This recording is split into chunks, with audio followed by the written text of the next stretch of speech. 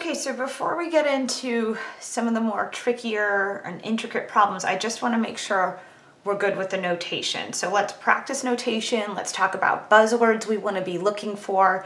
And then we're going to play out the, the different methods, the Venn, the tree, and the table.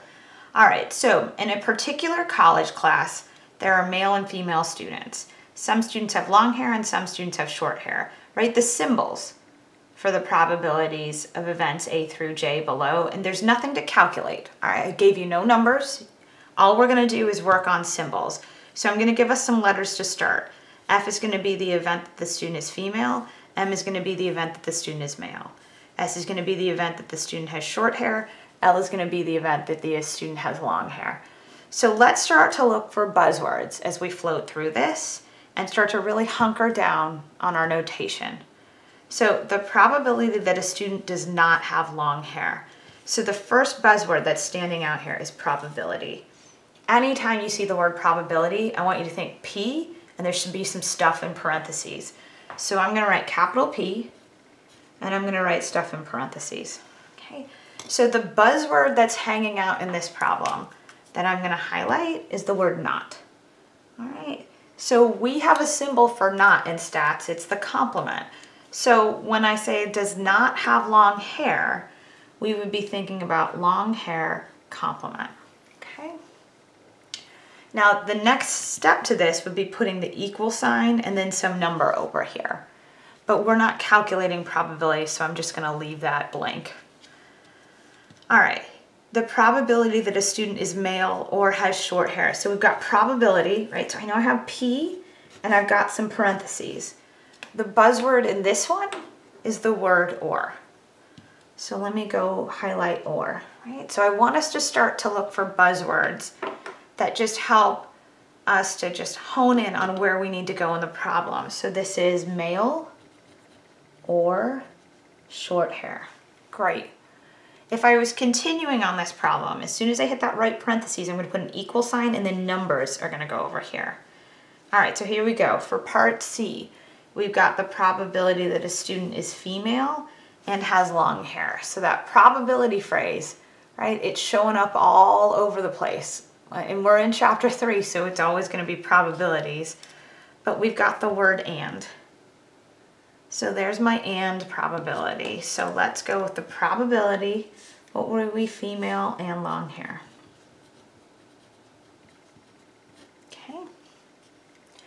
Again, if I was continuing on with this problem, I'd have an equal sign here and some numbers. All right, so here we go. The probability that a student is male, given that the student has long hair. So I see probability, okay, P with some stuff, some parentheses. I gotta fill this in with either symbols or words, but the key phrase here is the words given that. So when you hear given that, that's your conditional probability. So you're gonna have your vertical bar, okay? And the condition always gets placed after the vertical bar. The condition in our case is that the student has long hair. So this is not up for grabs. We know the student has long hair. I am selecting a student that has long hair. So out of all the students with long hair, how many are male, right? What's the probability that you are male? So long hair goes after the vertical bar. It is the condition and male goes in front of the vertical bar because I would read this as male given long hair. And I just want to make sure that we're on the same page and give you other buzzwords that you're going to run into. Given that is the most direct way to get to the vertical bar, right? That's, the, I think, the easiest one for us to identify. Sometimes we will hear the phrase of, right? So I might say, of the students with long hair, what's the probability that a student is male? Um, other phrases I've heard is if a student has long hair, what is the probability that a student is male? Um, we ran into this, I, I, think it was our chapter one deep dive part one, or I can't remember if it was part one or part two, but we had of the students that were um, living on campus, what was the proportion that um, participated in one or two extracurricular activities. That was a conditional probability that we were calculating way back in chapter one. We just didn't know it. And again, that was on the deep dive. All right, so let's scooch this up. I'm gonna do about two more and then what I want you to try is to pause the video and try and do G through J and then unpause it and come back. So let's try E, right? I see probability, probability the student has long hair and then given that the student is male. So that's one of my, my buzzwords. So let's see, we've got probability. I know I have a vertical bar that's gonna go here. What was I given? I was given you were male this time. All right, and then I want the probability that I'm looking at somebody with long hair. And that would be different right? Given I have long hair, then what's the likelihood you're male? And then given you're male, what's the likelihood you have long hair?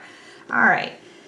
So taking a look at this, of all the female students, the probability that a student has short hair, and the buzzword here, even though it's a little bit more subtle, is the word of. That is a condition. It's saying, hey, I don't want to look at all students. I want to limit it to just the female students. So when I go to make my probability symbol, I do have a conditional probability and the condition is I'm looking only at the females. So of the females, what's the probability you have short hair? Okay. All right, so again, this is where I, I think it would be a good idea if you're following along on this video, pause it for a moment. All right, try and do G through I and then come back and run them with me and see if you got the, the same notation I did. This is just a notation game right? There's no numbers to calculate. We're gonna do that when we um, start in on example seven. All right, so if I'm looking at example six, I see the word of, uh, example six, example 6G, excuse me. I've got of, and I've got probability. All right, so I now have P and I have a vertical bar. So this is of the students with long hair, what's the probability that you're female? Okay, here I see the probability that a student is female or has long hair. So I'm seeing probability, and then the buzzword that's sticking out to me is or. All right, so we've got probability of female or long hair. All right, the probability that a randomly selected student is male with short hair. All right, so here we go. The one that's standing out is the with. Let's have a quick chat about this. All right with short hair, this is another word for and. All right, because they need to both happen at the same time, male and short hair. So this is the probability of male and short hair. All right, and then J, it just wants the probability that you're female. All right, so nothing fancy there. There's no buzzwords, there's no ifs, given that, ors, ands. So as we kind of just take a wider lens at this, let me scroll back up and look at this. So here for L complement, I don't have a formula that directly gets me L complement on here. That would be something I would need to count or use the complement formula um, to calculate. And we've talked about the complement formula in here. All right, let me flip back to it so that I can show you what I'm talking about. So again, I talked about the complement rule. So I would somehow use the complement rule if I was calculating a probability like example 6a. All right, if I look at this one for part B, I see the word or. So right away I'm thinking I'm probably gonna use formula one, all right? And again, we don't know if we're on a Venn tree table counting formula because I didn't give you any of that. But I just want you to see, anytime you see or, when you think to yourself, okay, I could use formula one, right? I see and.